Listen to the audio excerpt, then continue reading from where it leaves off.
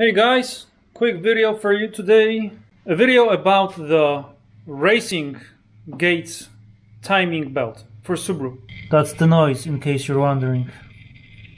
Alright, so that's the belt. Right? It is the racing T328RB made in Japan timing belt by Gates. And look what it did to the pulleys. There's a, a good amount of paint on all the smooth pulleys. A little bit less on this one. Quite a bit on this one. There's the water pump and there's the smallest pulley. So, yes, that is the paint. Now, I knew this was going to happen because right after I installed this belt, I read something online. This guy said that uh, he had it for about 5,000 miles, and when the car started running rough, which was uh, he figured it was out of time, check engine lights uh, for misfire, multiple misfire, and all. He took the timing cover off, and voila, there was a lot of paint buildup on all the rollers. This is something I read. And he says it skipped timing. It was, you know, off a tooth. Uh, at least one. This was a year and a half ago.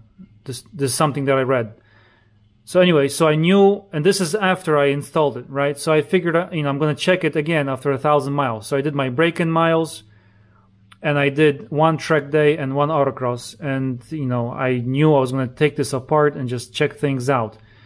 After maybe, I don't know, 700 miles or so before the track day, I actually took this one cover off and I saw a little bit of paint on just this roller, right? You could see this roller if you just remove this cover, pull it out a little bit. Uh, so I figured, yeah, I'm for sure going to be replacing this belt soon. So this is a thousand miles, maybe a little bit over, over a thousand miles. And this is what it did. I don't know about skipping time. Maybe, you know, when it gets a lot of it over here on this belt, it starts to wander over here and maybe it may skip. I don't know. If if it was my guess, then it would skip on this pulley over here. I'm not sure where it skipped on the guy or if it did or whatever. I, I don't care. All I know is that this may cause issues later on. If I were to not check for, say, 20,000 miles, 40,000 miles, whatever, I'm sure this would cause an issue. It may even cause the belt to break. Who knows? So there you go. So I've been doing some research and apparently these belts, the racing belts, the racing belts are meant to run a few track days, a few miles, one race, and replace them. So I wouldn't put them in at all if you're gonna even just track day your car or do autocross and maybe a, you know daily drive it once a month. This is that's my case.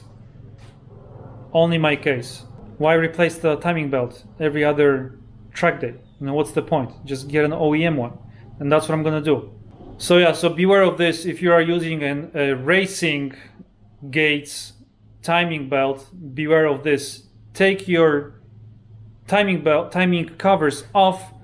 Check immediately to avoid issues. And if you are, you know, racing your car, track day, autocross, occasional daily, just go OEM. It's it. Those are still, you know, very good belts and that's what I'm gonna I'm gonna do in my case. All right, that's it for you. See ya.